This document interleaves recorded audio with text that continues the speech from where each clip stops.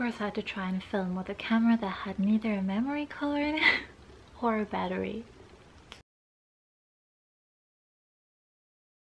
皆さんこんにちは。お元気ですか今日、次の旅行のビデオをリアクトしたいと思います。okay, that made absolutely no sense. I'm so sorry. Um, I thought I'd give it a shot and then realized it was a very bad idea. Hi everyone, welcome back. How are you all doing today? So, reacting to the next one, the next Japaniku episode, episode 7 solo trip to Japan surprise calligraphy lesson and we are just rewatching these videos while waiting for the borders to reopen. Guys, I have a small update uh, regarding this. Of course, as usual, I want to talk to you about the hashtag education is not tourism. All the links about it is below and it's to spread awareness. I don't really like that word, but for lack of a better word, spread awareness about us international students who have been stranded outside of Japan without any information nor communication from the Japanese government in almost a year and a half now we have been waiting. At least in my case, it's been a year and a half and that's what I want to tell you guys is that I think that I have come to the decision, a little bit of a forced decision I must say, but it is my decision nonetheless that if the borders do not reopen by October of this year, October of 2021, I'm going to have to give up. For now or just fully give up on this project because I am fully at my limits. I can't wait anymore. I can't put my life on hold anymore.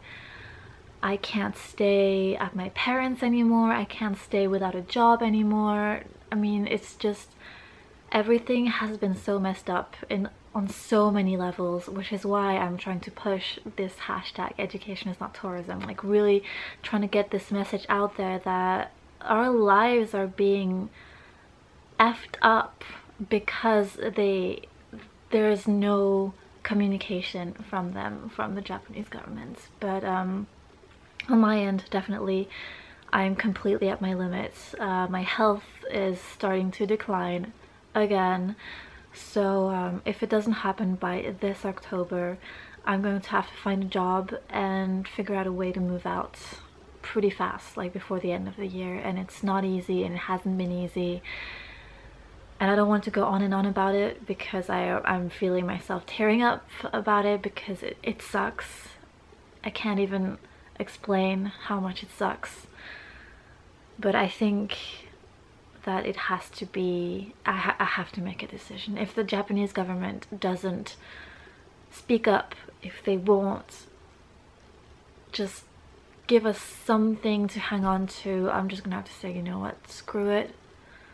I'm going to have to move on with my life and maybe later in the future I'll try again. Maybe not with a student visa. I don't feel like I'm at an age where I want to keep on studying indefinitely but who knows?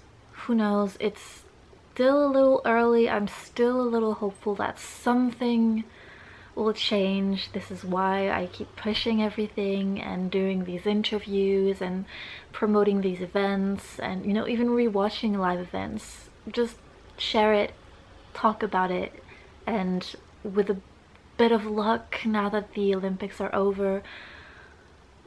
October might be a time where international students will be let in, but if it doesn't happen, I'm just going to have to remove myself from this project. And my voice is shaking and cracking and I don't want to get too emotional talking about it, but um, the truth is that I am at my limit. Sorry i did not mean to get this emotional. Um i as usual i want these these reaction videos to be light and fun and you know reminiscing and me telling about like these little uh, backstories that I might have forgotten but I thought I might as well share this news with you even though it's a decision that I took just a few days ago and it's not like set in stone or anything but if something good doesn't happen soon as in the borders reopen I win the lottery or a lot of money that will allow me to go stay somewhere else and I have to worry about food and rent and stuff. Um, I don't know, something magical needs to happen or I'm just gonna have to like give up and start from scratch. Um, I'm tearing up again. So let's stop talking about that and let's do something a little more fun which is watching this episode as usual starting with the uh, searching of the right and left side squinting my eyes. Um, from this episode what can I remember? I remember of course that it was raining that it was actually raining a lot a lot a lot and I stumbled across something completely unexpected which took up I think most of the morning if not like a part of early afternoon.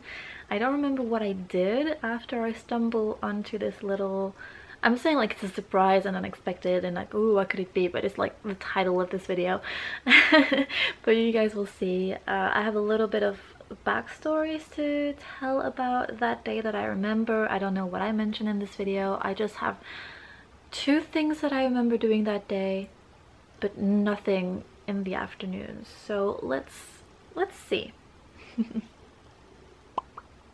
Good morning everybody. As you can see, we have terrible weather again today. Um, right now I'm at Nippori and today is going to be a day where I go to the things that I realize that uh, have been on my list and that I have yet to go visit. It's uh, the day before last in Tokyo, so I'm gonna make the most of it in this rain or without the rain. I'm just gonna walk around and have fun.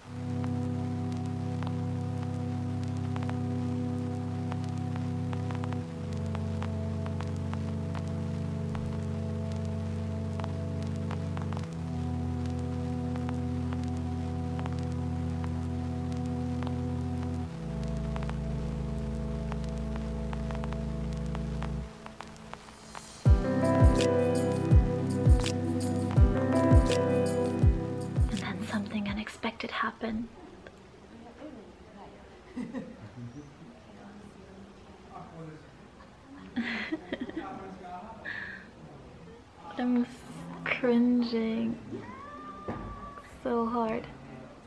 It's okay. Wonderful. Yeah. Wonderful.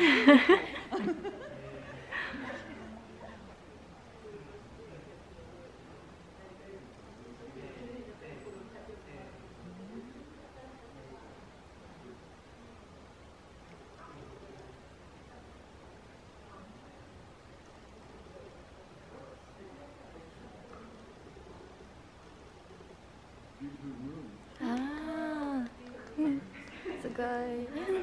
ありがとうございます。うん。I forgot I signed. I forgot about that. Okay.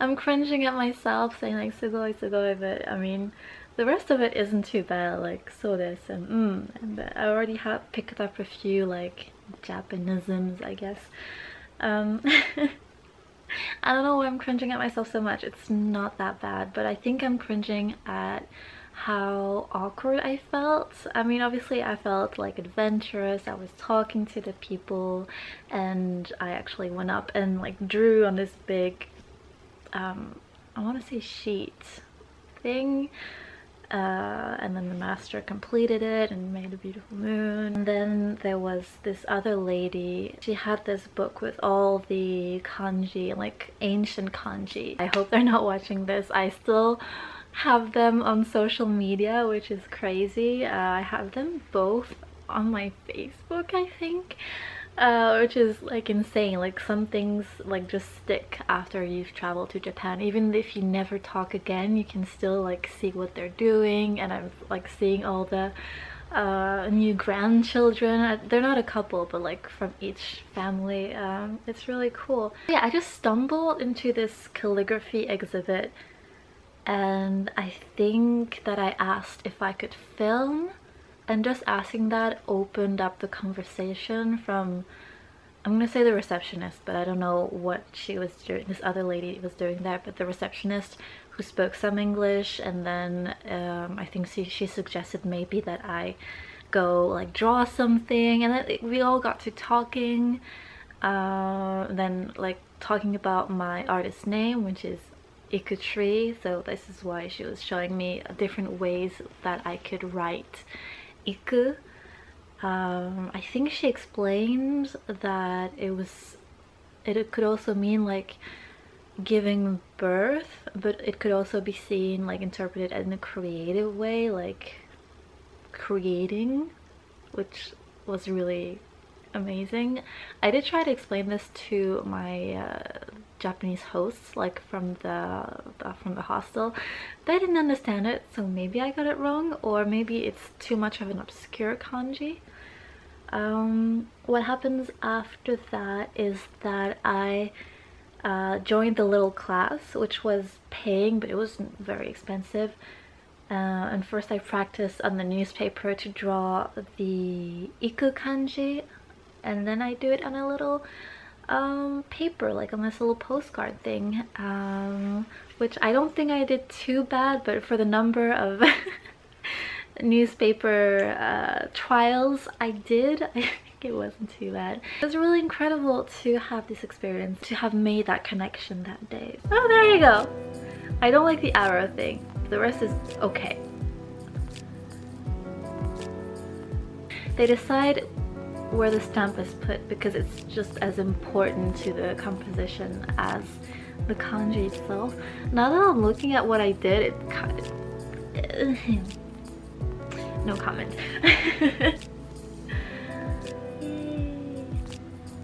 so there you go, she's helping me out. I stayed there so long. I think I was such a perfectionist. I, I feel a bit bad because I may have used up like a lot of their newspaper to try. See, I think the character giving birth is okay, but then the child is kind of like weird looking. but obviously this is like a prized possession of mine. I obviously still have it somewhere. It was on my wall for a very long time. Oh my god, I even filled the book! Good on me, I forgot about that. See, those characters are much nicer. They flow. Okay.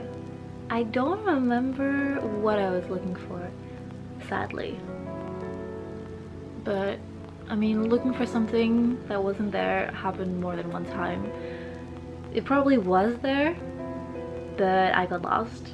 That wouldn't, um, probably what happened It was just rain, you know?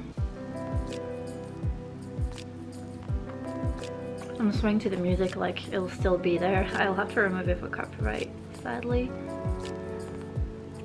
Like, I remember it was like this little walk in the rain, and you finally get to Meiji Shrine. And it was my second attempt to go there. Like, come on. It was beautiful. it really made it traumatic. I love myself for that. And it was just closed. Well, not closed, but it was just under construction. Welcome back. Still raining, still cold. But this might be my last stop for today. One of the things I hadn't seen yet is Tokyo Tower. I recognize Roppongi. So this is what I'm doing now. I'm walking. Oh, it's so sad in the rain. So gloomy. this is what I'm climbing towards to. I don't think I've ever been in Tokyo Tower. I, I go see it, I'm like, hi! Film it like this. But I don't think I've ever been inside it.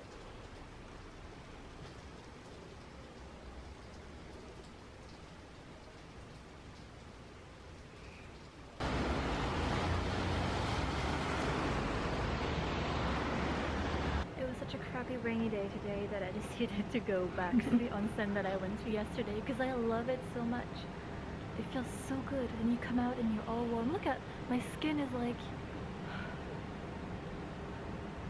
evaporating in the cold air and I just feel so good and relaxed now after being frustrated with the weather. that felt amazing. Anyway, this is a Jakotsu, Jakotsuyu, I believe. Jakotsuyu onsen right behind me. It's one of the only real onsens in Tokyo and who will accept tattooed people. So definitely recommend going to this one.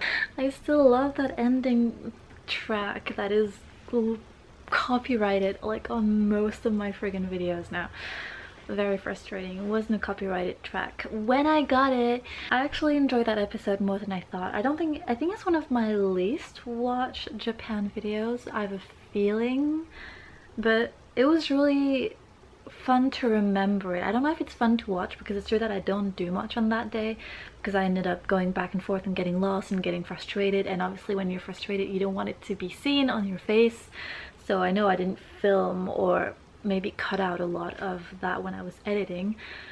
Um, but from, from what I remember, I do remember the temple at the beginning. I definitely remember that calligraphy class. I think that was the highlight of the day and of the video. I do remember Meiji. I don't remember it was on the same day, but I remember, remember Meiji Shrine and I remember the walk up and not feeling that inspired, sadly, but mainly the rain is at fault here.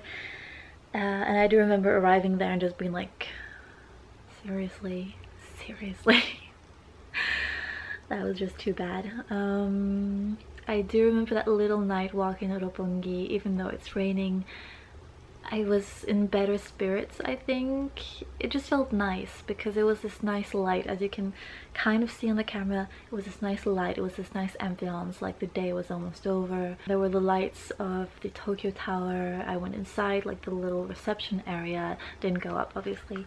It was a nice little ending to what I seemed to be saying was a very shitty day but it was probably this feeling of just being cold and hungry you know? Like you can get really uh, definitely I can get very dramatic if I'm cold and hungry.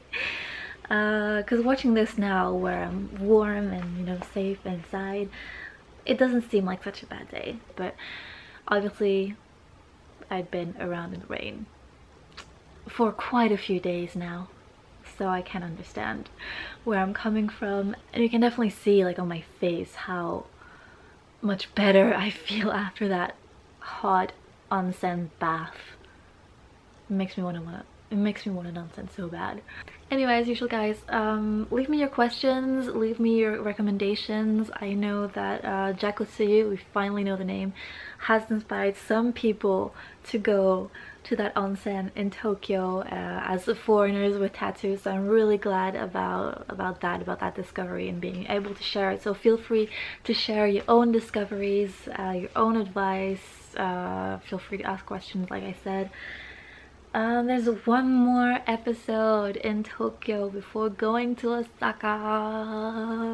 I'm getting really excited, but it definitely makes me want to go to Japan, but I'm not going to think about that. Otherwise, I'm going to start crying again. I'm just gonna say education is not tourism. Me and Bachi, thank you all for watching. Thank you all for being here. Please give this video a like, give this video a comment to show YouTube that people are watching it and interacting with it. Maybe it will boost maybe my AdSense a little bit. Maybe rewatch the video without your ad blocker. I'm sorry, I'm doing this again for like the millionth time being like yeah the situation is critical but truth is the situation is critical again and now more than ever so gonna just keep my chin up and invite you to do the same keep your chin up however hard things may be and as usual if you could if you just can't today if you're just done with everything wrap yourself in a burrito blanket take it easy i'll see you in the next one guys we can do this. Whatever happens, good or bad, we will find a way out of this. And where you go?